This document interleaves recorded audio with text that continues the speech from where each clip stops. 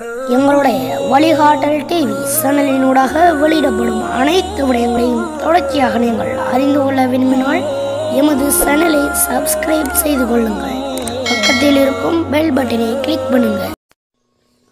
ஒரு அழகான அழகு நிறைந்த சூழலில் ஒரு குருவுடன் ஒரு சிசியன் வாழ்ந்து வந்தான்.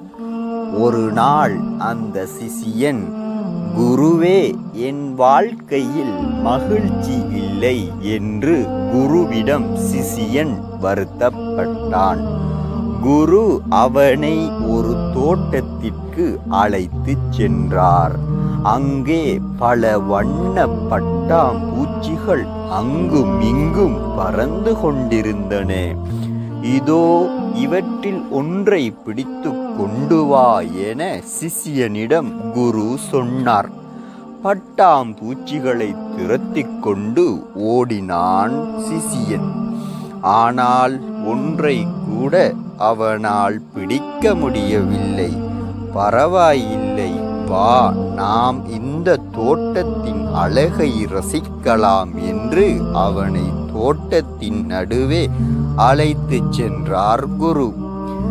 இருவரும் அமைதியாக நின்று கொண்டு தோட்டத்தின் அழகை கண்கள் விரிய கண்டு கழித்து கொண்டிருந்தனர்.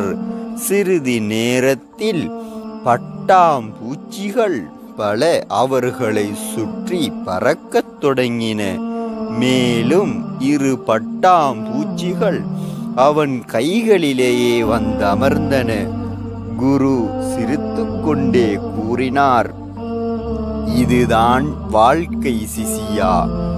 மகிழ்ச்சியை தேடி துரத்துவது அல்ல. வாழ்க்கை வாழ்க்கையை அமைதியாக நின்று ரசிக்கும் போது மகிழ்ச்சி நம்மிடையே தானாக வந்து சேரும் என்று புன்னகைப்போடு அந்த கதையை கூறி முடித்தார். எங்களுடைய வழிகாட்டல் டிவி சேனலினூடாக வெளியிடப்படும் அனைத்து விடயங்களையும் தொடர்ச்சியாக நீங்கள் அறிந்து கொள்ள விரும்பினால் எமது சேனலை சப்ஸ்கிரைப் செய்து கொள்ளுங்கள். பக்கத்தில் இருக்கும் பெல் பட்டனை கிளிக் பண்ணுங்கள்.